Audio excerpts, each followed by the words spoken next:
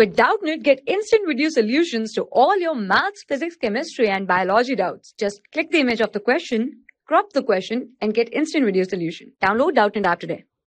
Hello student, in the given question we have been asked why anode has to be replaced from time to time during the electrolysis of alumina. Okay, we need to tell why does we have to remove or we have to replace anode again and again when we electrolyze alumina. Okay, so basically alumina has formula Al2O3. Okay, that is alumina.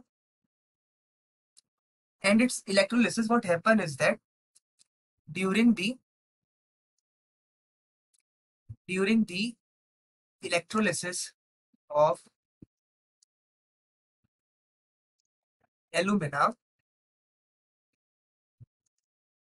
aluminium is produced as cathode. Aluminium is produced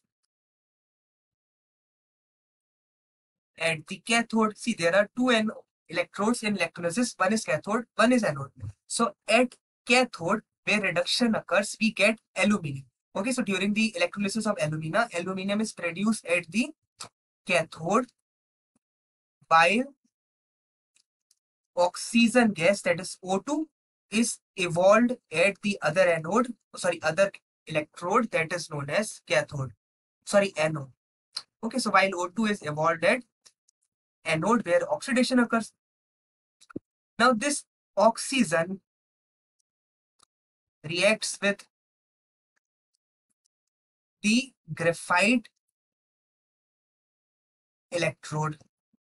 Okay, see the anode is made up of graphite and this oxygen gas reacts with graphite electrode to produce CO2. Now, what will happen is that when O2 reacts with this electrode, the electrode will start eroding. This will lead to eroding of electrode. Hence, we need to replace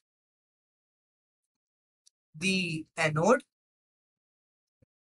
time to time. Okay.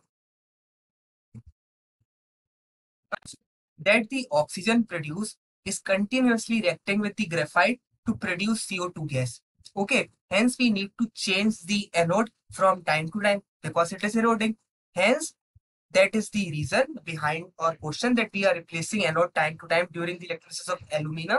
This is because the erode is continuously, the anode is continuously eroding due to oxygen reacting with the graphite of the electrode to produce carbon dioxide gas. For class 6 to 12, IIT JEE and NEET level. Trusted by more than 5 crore students. Download Doubtnut app today.